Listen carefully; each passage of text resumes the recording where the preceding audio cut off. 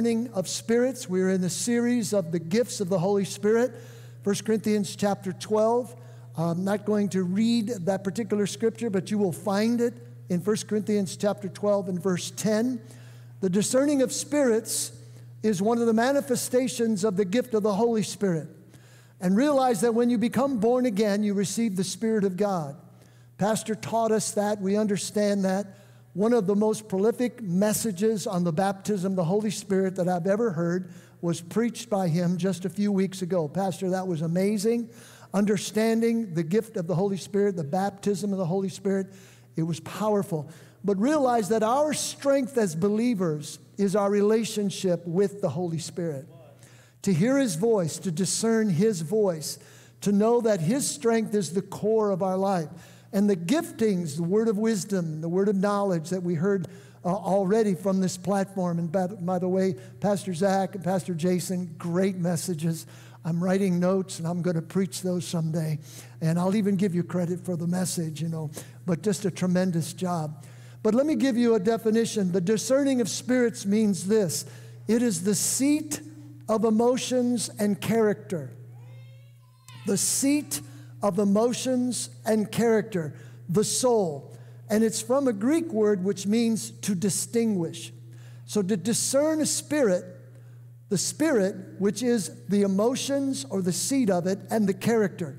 So discerning, meaning to distinguish. So there's a distinguishing ability to go into our seat of emotion and our character and bring clarity to it. That's what the, distinguish, the, the discerning of spirits is all about. So, the seat of our emotions and our character, out of those two areas of our life, is a script that we live. The script that is handed to us is often from the dark one, the enemy himself. He does this by uh, creating in our lives trauma or abandonments or rejection or hurts or dysfunction. Now, I'm not going to ask anybody in here to raise your hand if you've had some form of dysfunction in your family's history, because we'd all be like, yep, that was me. Because you have to understand something there is no perfect family. Every family is broken, every family has, been fall, has, has fallen. And so we all come through this, and that family of origin has an impact on how we live our life. Our cultures, have an impact on how we live our life. I was raised as a Hungarian boy. My mom and dad, my dad was a Ellis Island immigrant at age 12. He came in to America, went into the coal mines a week later, couldn't speak any English, had a third grade education, and uh, that was my father's history. You see, we have uh, origin of our family that impacted us because my father at 12 with no parents and just uh, relatives that he went to live with in Pennsylvania grew up based on what he learned from his traditions and his culture. I was taught those traditions and culture. We went to a Hungarian speaking church. Although I couldn't speak Hungarian, I used to sit there and be bored for the entire hour until they started an English service. So my parents transitioned into English services. But I did all of the cultural things, the chicken paprikash, you know, the goulash, and all the Hungarian dishes, but also the Eastern European mentality work hard. My father and mother had a work ethic that was unparalleled. I picked up that work ethic and I learned something about approval. To get approval from my parents, you had to work hard. You had to show yourself as being worthy of their approval. If you were lazy, my father would discount you totally. So I found myself working hard to try to gain his approval. And yet I learned something I could never work hard enough. It seemed like I could never gain his approval. But when we're talking about the seat of one's emotion and character, your spirit, and being able to distinguish what's going on in that area of your life. This is the gift of the Holy Spirit. One of my prayers every morning is that the Holy Spirit would reveal to me the ways and the thoughts of the Father.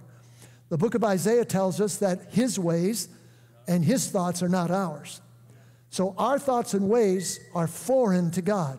Therefore, Holy Spirit, knowing the deep things of God, searches them out and reveals them to us. So my prayer is, Holy Spirit, reveal to me the ways and the thoughts of the Father today that you would make it real to my spirit as I pray in the Spirit.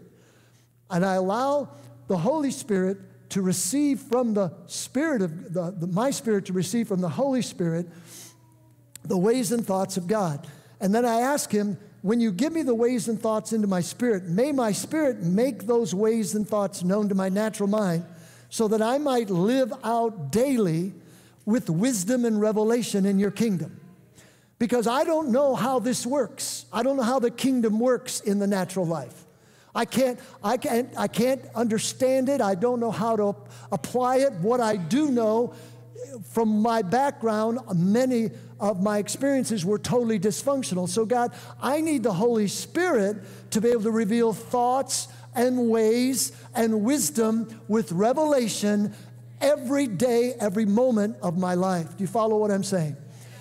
Now, let me give you an example in Acts chapter 16, verse 16 through 19. It was happening when Paul was going to prayer. A certain slave girl, possessed with a spirit of divination, he met them and brought her masters much profit by fortune telling. The girl followed Paul and cried out, saying, These men are the servants of the Most High God, who proclaimed to us the way of salvation. And this she did for many days. But Paul became greatly annoyed and turned to the Spirit and said, I command you in the name of Jesus Christ to come out of her. Now, I look at that scripture and I understand it with the distinguishing of spirits that Paul, with his apostolic anointing, was able to discern that that girl, even though what she was saying sounded good, what she was saying is listen to these men. They're the servants of God, they're preaching the way of salvation. But Paul rebuked that spirit and commanded it to come out of her. And why did he do so? I believe that he did so because those words were inflating, could potentially inflate his own ego, make him feel that he was higher in his thinking about himself than he ought. And he realized in the moment of distinguishing of spirits, in the seat of his emotions, and in the depth of his character, that that was not God's script for him. Therefore, he had to take authority of that thought, of those proclamations toward him, and took authority over them and cast the enemy out. You see, distinguishing of spirits will help you to determine what comes in and where it goes, whether you should keep it or whether you should dismiss it. Distinguishing of spirits will also help us to give us a, an ability to communicate spiritually inspired messages to God. Further, it is God given insight into the spirit world, which gives a believer the ability to hear in the spirit realm, gives us the ability to see and hear in the spirit realm. Now, the Greek word is diakrisis. It is a Greek word which means discernment.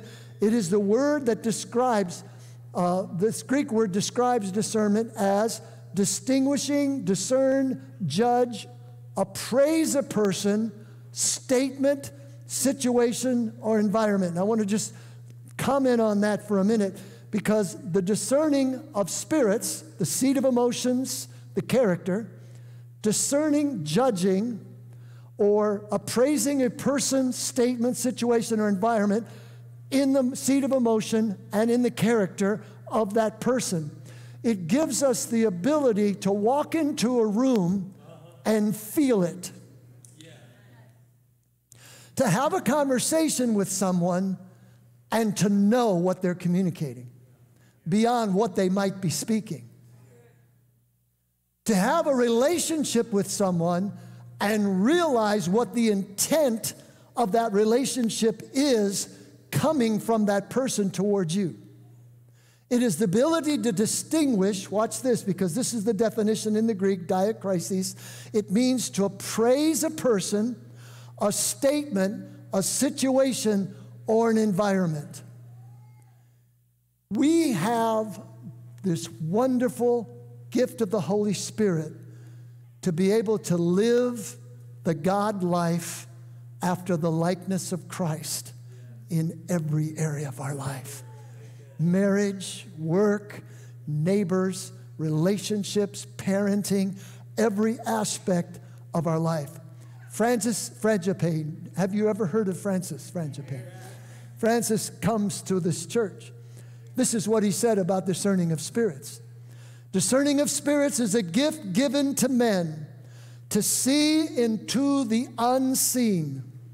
Its purpose is to see the nature of what is veiled. Now, hold that up there for a minute because I want you to concentrate on it is to see the nature of what is veiled. To see the nature of what is veiled. Basically, what it's saying is to see what you can't see behind the curtain. To see what God has planned for you, but you can't see it because it's covered but yet God has already prepared it. But distinguishing of spirits, discernment of spirits, is the ability to pull the veil back, to pull the curtain back, and to see what God has prepared for your life. It's sort of like Hagar. Hagar was banned by Sarah, thrown out into the wilderness with her and Ishmael to die, literally to die. And she put her son under a tree, walked away a distance because she couldn't stand the suffering of a mother seeing her own son and child dying. And she went unto another tree, and the angel of the Lord asked her, What are you doing here? And she said, Well, we're just going to sit out here and die. I've been banished, and this is the end of my life. This is the plight of my life. And, and God pulled the veil back. He pulled the veil back at a well that was not far from her that had all the water that she would need for her and her son to live in this wilderness situation. But she had not seen the well because she was living the script that she had been handed, which was basically, you're going to be banished, you're going to die, and you're not going to live. And God said, No, I'm going to give you the distinguishing of spirits. I'm going to pull the veil back and let you see that you're going to live and not die. Do you follow what I'm saying? Now, it is apostolic. It is apostolic. It is important for us to understand the term apostolic apostle, prophet, uh, pastor, evangelist, teacher. Fivefold ministry. How many are aware of the fivefold ministry, right? Okay, so if you're an apostle, you can be a, a prophet, you can be a pastor, you can be evangelist, you can be a teacher. If you're a prophet, you can't be an apostle, but you can be a pastor, evangelist, and a teacher. If you're a pastor, you could be an evangelist and teacher. This is the beauty of Destiny Church. I'm submitting this to you, Pastor. You are not a pastor, he is an apostle. And the apostle is a person who unveils hidden things. An apostle is one who establishes foundation, who creates God's plan in the lives of others, in nations, in cities. It is apostolic. That's what Paul wrote in Ephesians 1:18. Read it now. The eyes, can we put it up there? The eyes of your understanding being enlightened. Everybody read it with me. Let's, let's read this verse together. It's open book test. It's real easy. Are we ready? I'm going to say read and we'll start. Read. The eyes of your understanding being enlightened, that you may know what is the hope of his calling, what are the riches of his glory, of his inheritance to the saints. That you may know, that you may have knowledge, that you may have knowledge. Distinguishing of spirits is what makes knowledge available to you. But I believe it comes under an apostolic mantle. Now, that's really another message, but I just wanted to throw that out to you because you have to realize how distinguishing of spirits operates with the apostolic. But let's go to 2 Corinthians 2, verse 9. Paul writes this in the second letter to the church at Corinth. He says, But as it is written, eye has not seen, nor ear heard. I think I got the wrong scripture. Uh, neither have entered into the heart of man the things which God prepared for them that love him. Eyes have not seen, ears have not heard. All that God has prepared for you. Remember Elisha's servant when they were surrounded by the enemy? And he's like, Oh, what are we going to do? There's so many of them. We're going to die. And God says, Well, eye has not seen and ear has not heard all that the Father has prepared for you. So Elisha prayed, and what did he say? I want you to open his eyes. I want you to unveil the nature of the of, the, of, of, of his future. I want you to pull the curtain back and let him see what I prepared. When he opened his eyes, what did he see? He saw chariots of fire. He saw angels surrounding the enemy. When you're surrounded, God's got that which is surrounding you surrounded. And his eyes were open to it. And now he began to see the victory See, distinguishing of spirits will help you see the victory in a situation where there seems to be no way.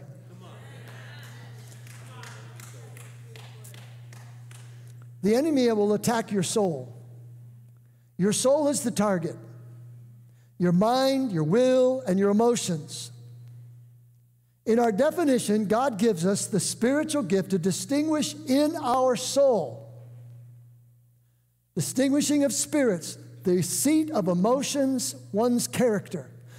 God gives us the ability to discern our own souls, to judge, to be made aware of, to gain knowledge of.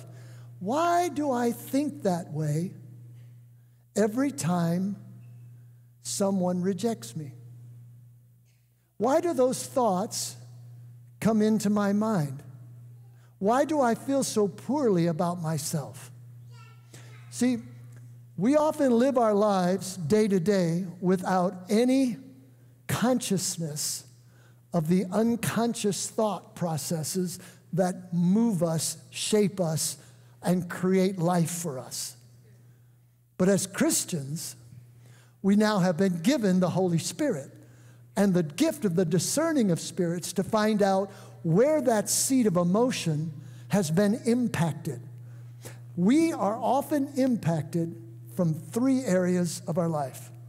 There's more, but these three family of origin,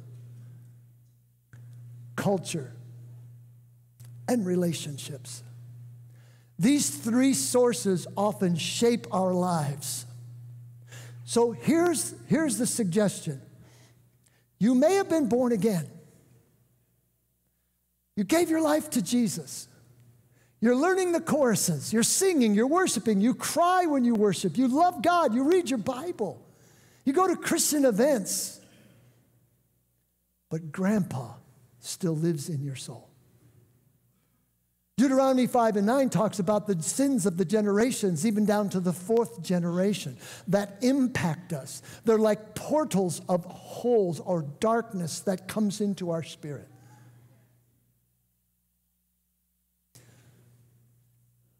Someday I'll give you my testimony, or someday I'll give, write it down, I guess, but of my mother and father being married and having a sexual affair, and I was born. She got pregnant. She had two children at the time and a husband. He had a wife. They were living in a small coal mining town in Pennsylvania.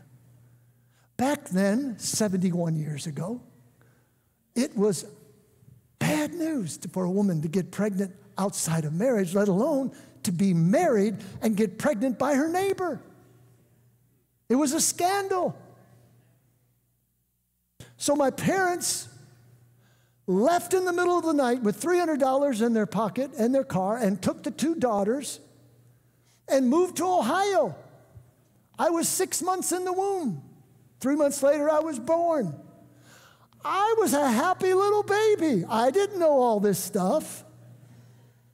I didn't know they got it on over there in the neighborhood. I didn't know that. I didn't know half the family hated me and called me the devil's child. I had no idea I was a bastard. I was just a baby. Cute little baby. but origin of family shaped me. The events that followed that shaped me, went into the seat of my emotions and my character. It is a source that the enemy used to get me off script. To get you off script is to send you to hell. But how many know it's not God's will that any man should perish, but all should have everlasting life? So when I was 21, a Hispanic woman by the name of Illyrio Gilbert, four foot two, looked up at me, handed me a track, and said, Jesus loves you. You need to read this. And I went, okay. I went to work that night. I was working from 11 at night till 7 in the morning. I read that track, the little prayer on the back end of it. I was like, oh my gosh, I think I'm born again. This says I'm born again. I feel so good. I feel like I was walking above the ground. I could hardly wait to get home and tell my wife, Tina, what happened. Little did I know she had been given a book by Illyrio called Hear My Confession by a Catholic priest. She read that book all night long, and at the back of it was a prayer, and she prayed. I walked in the door, I said, I think I'm saved. She goes, I think I'm saved too. I'm like, oh my gosh, we're both saved. I said, wow, this is amazing. What do we do now? I don't know. I guess we go to church. Where? We had no idea. Nobody in our family had ever been saved. So I had Jesus in my heart, but I had grandpa in my bones.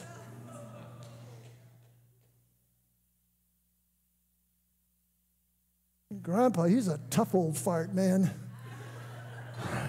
He had to be cast out. How many know the enemy is a liar?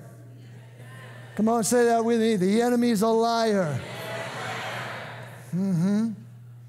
He's a liar. Listen to this, John 8 44. You belong to your father. The devil, you want to carry out the father's desires. He was a murderer from the beginning not holding to the truth, for there's no truth in him. Say that with me. No truth in him. You got to get that in your spirit. There's no truth in the enemy, not one fragment of truth in the devil. He is a liar. Watch what he says. When he lies, he speaks his native language for he is a liar, a liar and the father of lies. So what does he do? He blinds the minds, 2 Corinthians 4 4. The God, the God of this age will blind the minds of those who do not believe, lest the light of the gospel of the glory of the image of Christ. Ooh, this is so good. The glory of the image of Christ is what the enemy wants to blind your eye from. So he creates darkness, dark spots. My 17 year old, I mean, 14 uh, year old grandson, he's now 27. Um, his mother, which is my daughter, and his father had uh, made a mistake in high school. In other words, she got pregnant. And the father made my daughter prove that it was his baby. So they had to go through DNA testing and all this stuff. Found out it was, and he was not happy. So he moved to Florida. He had aspirations to become an NBA basketball player. He was very good. He was a star basketball player at the high school. Got hurt, went in the military, one situation after another. And he would bring my grandson for the summer for two months to be with him because my daughter lived in Ohio, he lived in Florida, so he would come to Florida for two months. And my grandson hated going there because he was rejected by his dad. His dad saw him as a mistake, as a problem, as an expense, child support. And his father had two other sons with his wife, and when my grandson would come to visit, he was the odd man out. One time, he was trying to get close to his father. This is now at 14 years of age. They were in a shoe store. Now, shoes are sort of like signatures for that age group. They, they're like, man, look at my shoes, man. These are, these are, these are like, these are like kicking it. These are hot. These are, these are boss. These are bad. And it's funny too, my grandson right now collects shoes. He, he has a collection of shoes that cost thousands of dollars. He buys them off eBay and sells them, and it's like a business. I don't know. They're just gym shoes to me, but to him. But anyway, he's at a store and he's trying to get close to his dad. And he walks up to his dad. He said, Dad, look at these. These are awesome. These are boss, man. These are bad. These are like really cool shoes, Dad. What do you think? And he looked at him. And he goes, I ain't buying those blankety blank shoes for you. He said, Go ask your mother. Let her get the money that I pay for you for every month that I have to give her because of you. Ask her to buy you those blankety blank shoes. At that moment, a portal of darkness was opened and it went right into his spirit. He shrunk in to himself, became introverted, never told a soul how pained he was during that experience. What the enemy was doing is creating an environment that at the time he did not have the distinguishing of spirits to be able to judge that that environment was coming from the enemy. It was handed to him. He tried out for the part. He absorbed the character and he began to live it out. Until about a year ago, when God gave him revelation of allowing the word to shine on that part in his heart, to heal him and to change him. But it takes the distinguishing of spirits to be able to discern. If I sat down with Pastor and said, How are you doing, Pastor? This is amazing. And he looks at me and went, he said, You need a breath mint. I, I, I was not aware I had bad breath. When you're not aware of something, you cannot fix it. When I was made aware, I said, You, got a breath mint? and I popped it in my mouth, and voila, everything is going to be all right. right? But if you're not aware that you're a selfish husband and you're causing pain in your family and your wife, until you're made aware, you can't fix it. How do we become aware? It is the Holy Spirit who makes us aware. Listen to Ephesians 4 22. I got to hurry. That regarding your previous way of life, you put off your old self completely, discard your former nature, which is being corrupted through deceitful desires. Be continually renewed in the spirit of your mind, having a fresh, untarnished mental, spiritual attitude. And put on the new self, the regenerated, renewed nature created in God's image. Godlike created in God's image. So, what was God's image for my grandson? That he's accepted, that he is gifted, that he is talented, that he has a future, that he has all of this ability. But what was the script that was handed to him by his father in that moment in the shoe store? You're rejected. You're worthless. I hate you. I wish you weren't my son. You have no future with me. There are the two scripts. Grandson, which one will you read? If he's handed the script that the negative side and begins to study for the character of that script and absorb that character, he will live his life with those characteristics the rest of his life until he realizes that that is coming from the family of origin, the distinguishing of spirits, and those are not Psalm 139 writings the book that God has written about us, those are not the writings of the Holy Spirit. And now He injects the Word of God, the likeness of God, the image of God into that situation and breaks down the script and rewrites it with God. There are some of us that need to rewrite the scripts because it is the likeness of God, not the likeness of your family, not the likeness of your culture. And what are we trying to do today? We are trying to create a generation. Culture is trying to infuse and impose its script upon our children.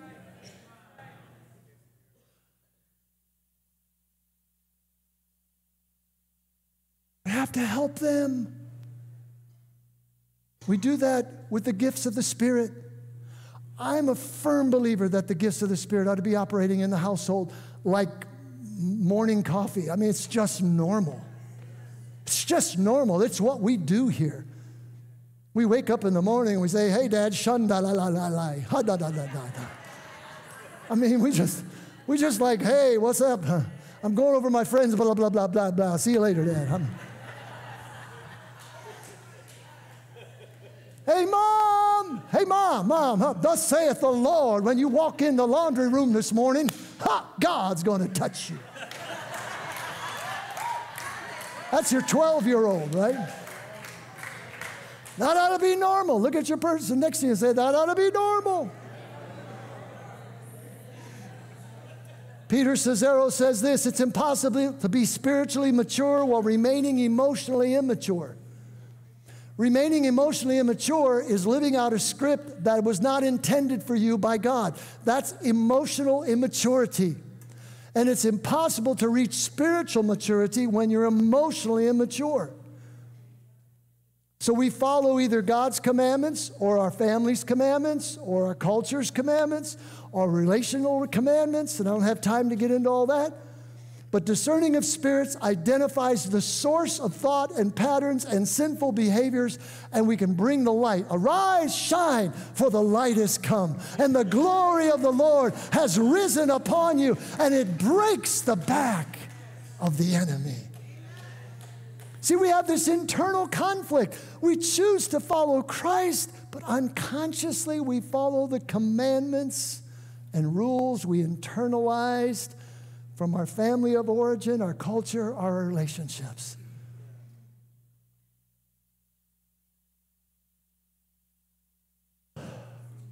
I want to give you illustrations. I want to tell you about my family's bigotry. I'm embarrassed to even tell it. Prejudice. If you weren't Hungarian, you were trash. That's my dad and his thinking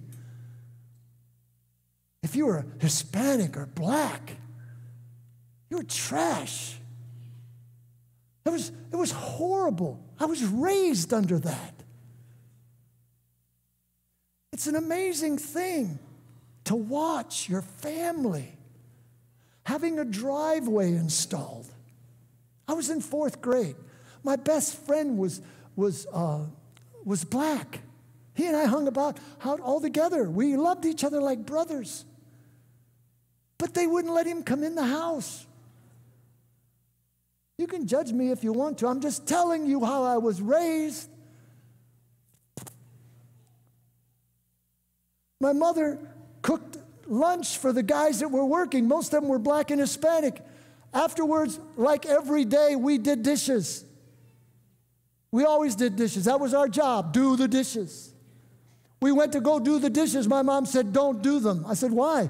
We're throwing those dishes away. And threw them in the trash. I'm embarrassed to tell you that. But that's family of origin.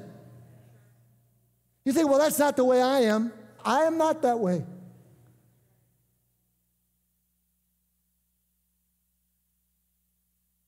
I have three grandsons that are African American and white. I am not that way. But that teaching put its tentacles into my emotions and my character. That's just one example. My father was a drunk. He was an alcoholic. He was an angry man. He and my mother oftentimes would argue to the point of wanting to stab each other with knives. My father never told me he loved me until he died. Two minutes before he died at age 70, he was in intensive care and he grabbed my finger and said, I love you. And I got so angry at him. I yelled, I screamed, I ran out of the intensive care. I pushed over a cart. My brother tried to come to comfort me. I pushed him down. I screamed, went in the elevator and cried like a baby. Stupid. The enemy is a liar. Come on, say it with me. The enemy is a liar. He's a liar and he's lied to you and he's lied to me because there's no perfect family. We all come from fallen, broken families. But thanks be to God. Woo! Jesus gives us new life. Amen. Woo! He gives us new life.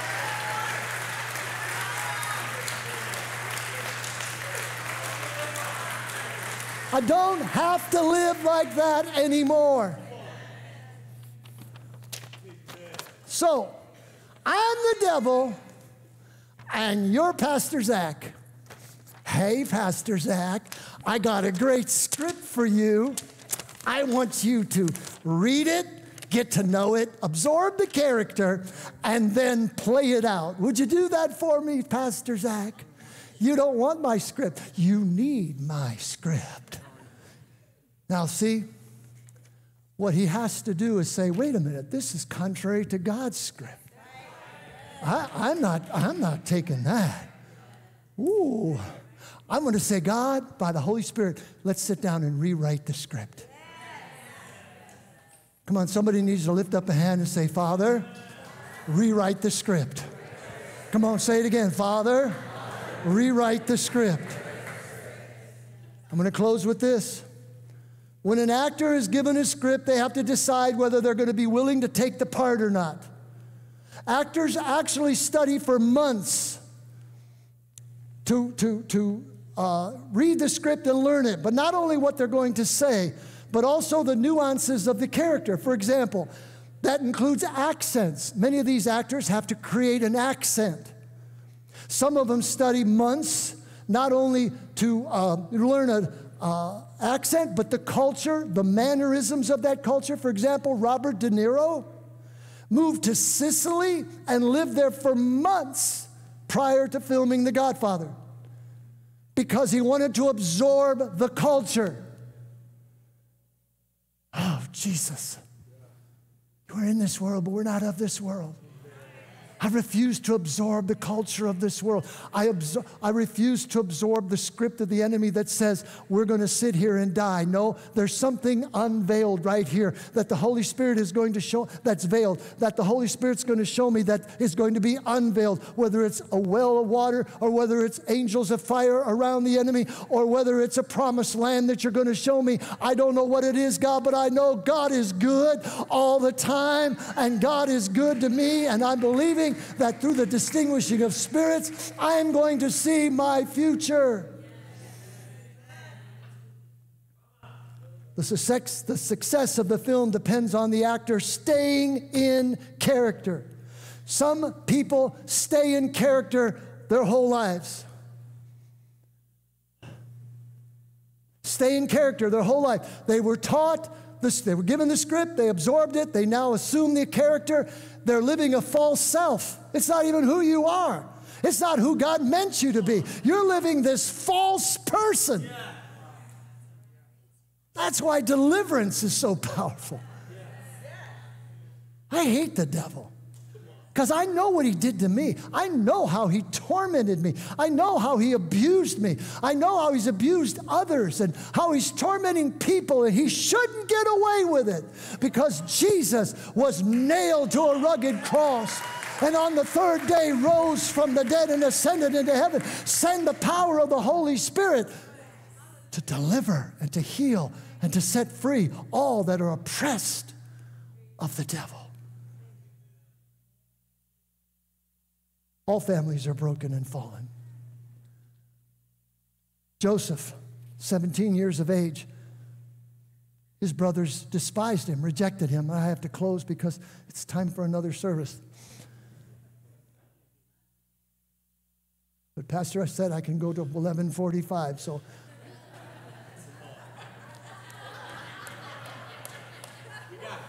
I got notes from the office that said 11:30. He said 11:45. He the boss. well, I'm going with him. Well, I got three minutes. 17 years of age. In one day, his life profoundly changed. He lost his parents, he lost his siblings, he lost his culture, he lost his food, he lost his language, he lost his freedom, he lost his hopes, but he never lost his dreams. He had a profound sense of the bigness of God. My God is so big, he's so big, he's so big. My God is so big, he's so big, he's so big. My God is so big, he's so big, he's so big.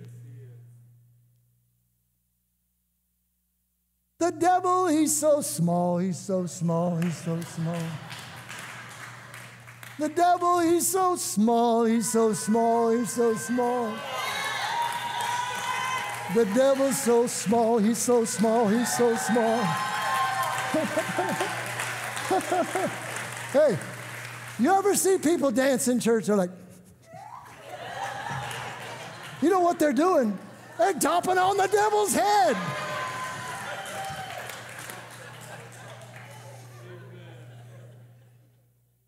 And all that happened to Joseph, he ends up in Potiphar's house. And his wife goes ballistic, accuses him of sexual impropriety. He left his coat in her hands, went into prison, ends up with the keys to the prison, and doesn't walk out. Discernment of character, purposes of God. He has a dream. He speaks to Pharaoh. His brothers come for food. Ha ha, ha ha, I'm second in command. Woo, they're my brothers. Come on in, boys. Come on in. I've been waiting for a long time for this. Come on in here. Come on, sit down, sit down. I, I, if I was Joseph, they would have been toast. Unless I had distinguishing of spirits and I realized that that character was not God's script. God's script for those boys is this. And God sent me before you to preserve a posterity for you in the earth and to save your lives by a great deliverance. So much so, he named his first son Manasseh. God has caused me to forget the hardship. And Ephraim, God has made me fruitful in my affliction. Take that, devil. What the devil meant for evil, God turn for good. Come on.